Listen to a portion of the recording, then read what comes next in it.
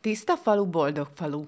Ezzel a szlogennel indult el 2018-ban egy összefogással megvalósuló projektsorozat Pilis Szent Ivánon. 2018 tavaszán ültünk le az akkori Nagycsaládos Egyesület egyik vezetőségi tagjával, Mékuti Andreával, és arról beszélgettünk, hogy hogyan lehetne valamit a falu egyrészt tisztaságáért, másrészt a környezetvédelmiért, a környezettudatosságért tenni. És így a beszélgetések kapcsán adódott, vagy dobódott föl a kérdés, hogy hát akkor ehhez ehhez kéne valami, valami logót tervezni, amit mindenki felismer, és az Andrea nagyon ügyesen ezt ő vállalta, ő tervezte meg ezt a logót, és, és maga a szlogen is az ő ötlete, tiszta falu, boldog falu, én azt gondolom mindent elmond, és akkor indultunk. Nyáron a napfordulón jelentettük be, akkor mutattuk meg a plakátokat, ezek a nagy, óriás, nagy méretű plakátok kikerültek a generációk háza falára, az iskolában megtalálható több emeleten, a Villanegránál, tehát próbáltuk népszerűsíteni, és még kitűzőket is gyártattunk, mert a következő lépés az volt, hogy a nagycsaládosok egy nagyon, nagyon szép eseményt szerveztek, egy igazi falutakarítást úgy, hogy az egész piciktől az idősekig mindenki ott volt, sok-sok család vett részt, sok gyerekkel, és talán ez, ez megmutatja a gyerekeknek is, hogy a látszólag egyébként nagyon szép és tiszta falunkban bizony külterületeken, illetve a szélein nagyon sok szemét van. És mivel ott akkor azon a takarításon rengeteg csikket találtunk a falu központjában, több helyszínen is, az, akkor azon gondolkodtunk, hogy mit lehetne ezekkel kezdeni. És aztán így jött a következő lépés azon gondolkodtunk, ugye, hogy hogy lehetne rávenni, illetve megkeresni a, azokat az embereket, akik dohányoznak, hogy ők is hozzájárulhassanak a falu tisztaságához. Hiszen nem lehet azt mondani senkinek, hogy dobd el, vagy ne dobd el. Viszont megszólítva őket úgy, hogy ez a logó megjelenik egy oszlopon, amit a községgazdálkodás gyártott le, és üríthetők is, csiktartók vannak rajta, megkerestük azokat a helyeket, ahol a legtöbb csikket találtuk, több százat, rengeteget.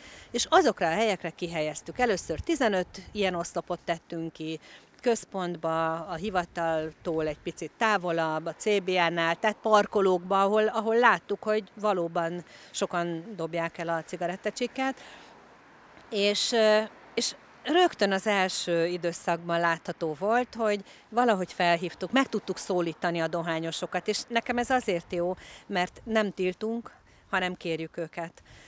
És aztán most már több mint 30 oszlop van kihelyezve a lépcsőtől kezdve a temetőig, tehát megpróbáljuk lefedni azokat a területeket, ahol a legtöbb csikket találtuk, mert a csik nagyon veszélyes hulladék. A programsorozat harmadik állomása a november 6-án megrendezett komposztálónap volt, mely egy pályázat keretében valósult meg.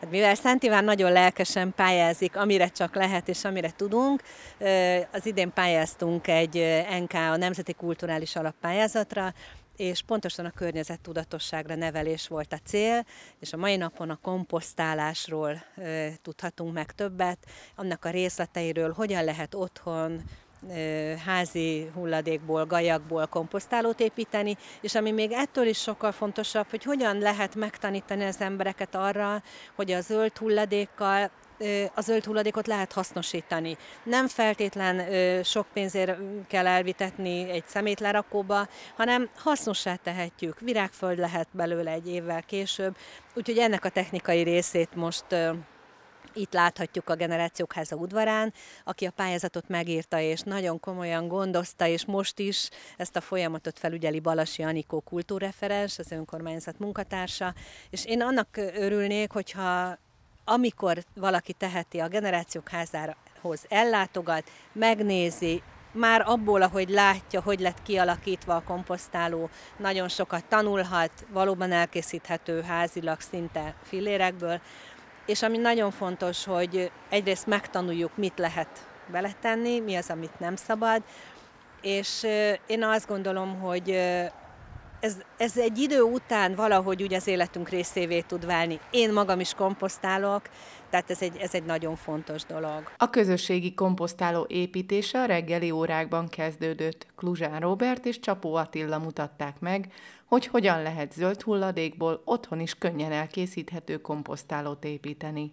Amellett, hogy gyakorlatban láthattuk a komposztáló elkészülését, két rövid előadásban hasznos tippeket is kaptunk Csapó Attila kertésztől. Beszélt arról, hogy miből és hogyan építsük a komposztálónkat, megtudhattuk, hogy milyen kémiai átalakulás zajlik a folyamat során, és természetesen az sem marad ki, hogy mit és hogyan komposztáljunk.